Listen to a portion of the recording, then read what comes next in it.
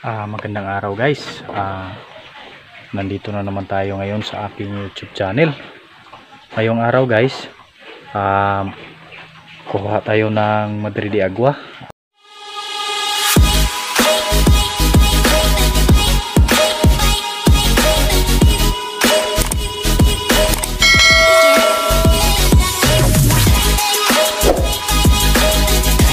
Yan po guys. Ah, dito po tayo manguha ngayon oh. Napakalaki na po ng puno. Ang problema, mataas na po sila guys oh. Kasi matagal na po ito. Tinanim ko po ito nung kasagsagan ng pandemic at yung mga alaga ko pa noon ay manok pa. Hindi pa po ako nag-alaga ng baboy noon. At kunti lang kasi yung itinanim ko kasi hiningi ko lang po yung ano nito, yung mga sanga. Ngayon, marami na sila kasi nakapagtanim na rin ako doon. Pero hindi rin naman ito maubos nung nagmanukan pa ako. Hindi nila maubos kasi no marami po yung nabuhay oh. At yan po. Kasi ang problema kasi dito guys marami po kasi dito. Halos araw-araw po ako pumunta dito. Buti ngayon wala pong gaanong mga shell. Kinain po yung dahon guys. Parang uod ba? Gustong gusto po nila yung Madre de Agua. Yan na po oh. Napakadami po sanang dahon nito kaso pag hindi mo na alagaan ng maayos hindi mo palaging puntahan dito ubusin po ng mga shell. Gaya nito guys oh. Ito po oh. Kahapon pumunta ako dito. Ang dami nila. Ngayon isa na lang siya kasi halos ano, ano, anuhin ko lang guys oh. Ganyanin ko lang para mahulog siya. Oh mahulog na siya oh. Oh hindi ko lang alam kasi hindi naman ito siguro makakain. Yan po oh. Yan po oh. Ito po oh. Oh. Ito po ang lakas po kumain ng dahon ng Madre de Agua. Kaya nasira yung ibang Madre de Agua gaya nito oh. Hindi po siya makakonsentrate ng maayos. Ito po oh kasi para po silang uod kainin po yung Madre de dito bago ko lang po itong inanuhan. Pinutulan. Kasi malaki na siya. O may ano na naman shell na naman oh. Gustong gusto talaga nila ang dahon ng Madre de ito po yung problema ko dito. Kasi hindi ko po palaging napuntahan ito kasi malayo po ito sa aming kulungan. Yan po oh. May isa na naman oh pag hindi mo yan naagapan nakuha agad. Yun po oh. Pag hindi mo yan nakuha agad yan oh. Pag hindi mo yan nakuha agad dadami yan. Tapos yung dahon hindi natutubo. So kunin natin oh. Ihulog lang natin yan guys. Gaya nito oh. Napakadami. Kahapon kinuha ko lahat yan. Oh parang kinain sila ng uod so sabi saya pa dangan sila ba? Pero sige lang tiyagaan lang natin na kunin sila.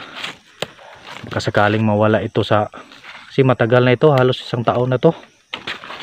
Napabayaan ko lang ito kasi nabisi po tayo ng konti. Ngayon palagi na tayong kukuha rito ng kahit ah, dalawang beses sa isang linggo.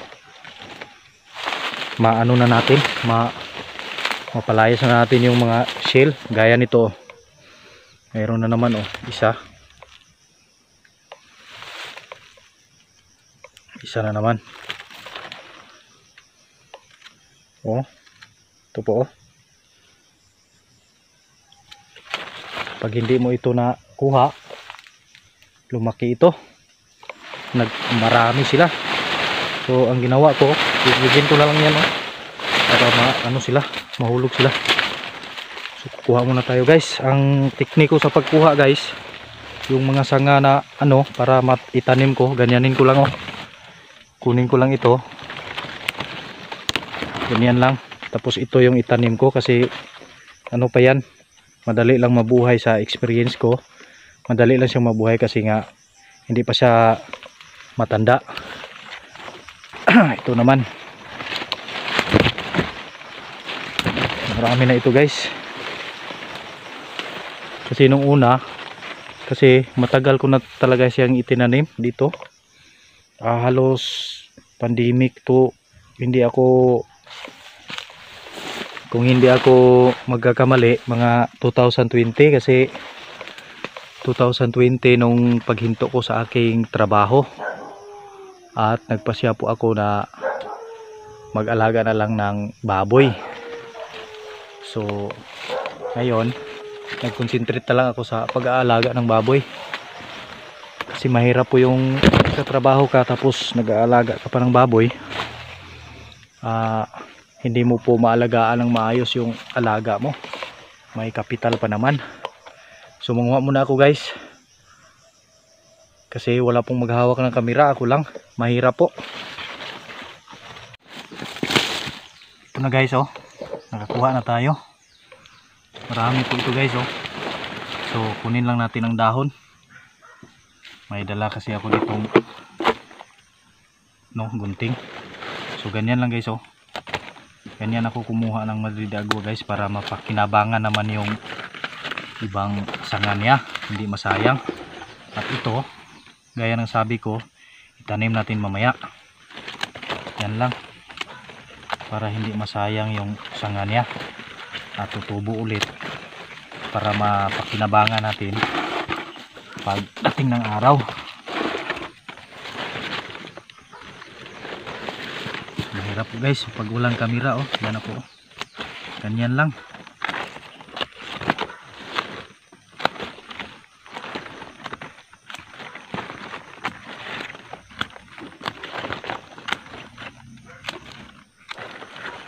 Tapos ito ito yung itanim natin mamaya.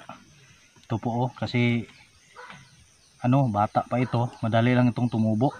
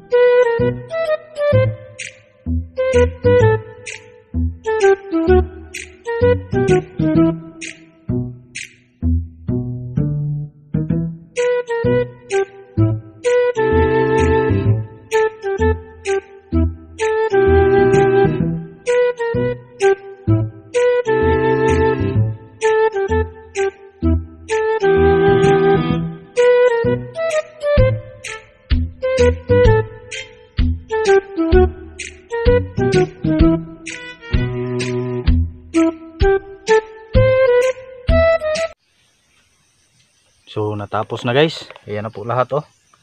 Ano, pinagkasya ko lang dito at yung mga ito naman yung mga cuttings niya ah, itanim natin to guys. Dali natin doon. Pun- Punta tayo doon sa ano, pagtataniman natin.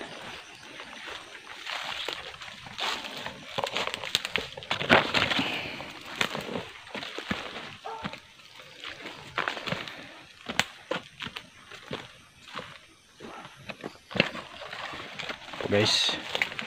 Diyan po natin itanim sa may gilid.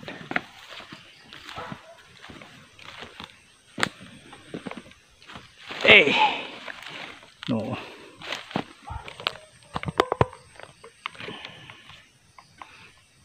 Tanim lang natin. Simple lang ang pagtatanim guys. Yan lang natin dyan. Gaya nito. Ganyan. To ito po. Ganyan lang. Ganyan mo lang oh mabilis lang. Tapos dito naman. Hmm. para pagdating ng ilang buwan pwede na rin tayong makaharvest dito. Kasi kukuha tayo tapos nagtanim naman tayo. Hindi po sila mauubos kapag ganyan po ang gagawin natin. So kukuha tayo tapos ang kinu pinagkukuna natin itanim naman natin para sa ba mga araw na darating may aanihin na naman tayo. So ganyan lang po kasimple guys. Yan po. Oh, madali lang. Ito. Hmm. Tapos na. Ilan po yung naitanim ko. Isa, dalawa, tatlo, apat, lima, anim, pito, walo, siyam, sampo. Sampo po na cuttings yung naitanim ko. So, sa sampo guys, sa susunod na naman araw na naman, magtanim na naman tayo ng sampo para ito po yung kanal ko. Maano talaga yung ito ng cuttings lahat. Yan po ang bala ko kada kuha ko po ng Madre de Agua so balik na tayo guys sa ating kulungan at ipakain na natin tong dala natin sa ating mga biik at sa ating mga inahin. Ah pakain na natin sa kanila. So yan na po guys oh. Ah, hinugasan ko muna guys para mawala yung uhod. Bago ko ibigay sa kanila hinugasan ko muna. Para may uhod man mawala. Para hindi po magkasakit yung ating mga biik. So lagyan na natin guys. Yan po. Hindi ko na muna sila no guys nilinisan yung kulungan kasi malinis naman at no wala pong kuryente dito sa amin kasi ma- umaambo na naman. Parang umuulan. Ah. po malakas mo lang kumain yung po ito po yung walong piraso ko guys. Nasa mahigit isang buwan na din to. Ah, hindi po ako nagbibigay ng vitamin sa ngayon guys kasi hininto ko na po yung pag ah, lalagay ko ng vitamin pro sa kanilang painuman kasi malakas na rin silang uminom at malakas na rin ang gastos kapag nilagyan natin. Ang ginawa ko magpa-snack na lang ako ng Madrid Agua tuwing kahit dalawang bisis sa isang linggo lang kasi napansin ko po kapag naka-snack po sila ng Madrid Agua malakas po silang kumain ng feed para na rin akong naka-vitamins so sa kabila naman guys bigla natin yung ano labing isa na piraso po guys oh. Nugasan ko na po oh. Yan po. Lakas po nilang kumain ito guys. Mamaya ko na lang po sila linisan kasi wala pong kuryente dito. Mahirap po maglinis kapag walang kuryente. Kasi hindi po natin ma-power spray ang mga dumi nila. So dito lang natin ilagay sa walang dumi.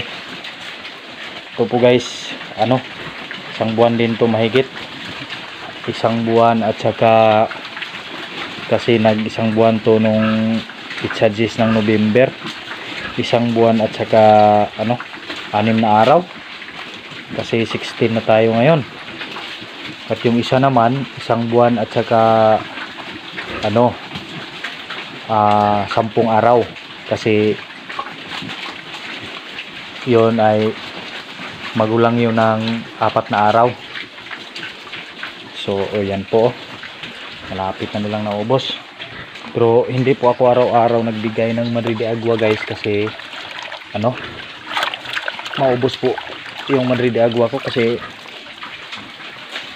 marami po silang kumain. Yung mga inahin ko naman bigyan pa mamaya ng Madrid Agua.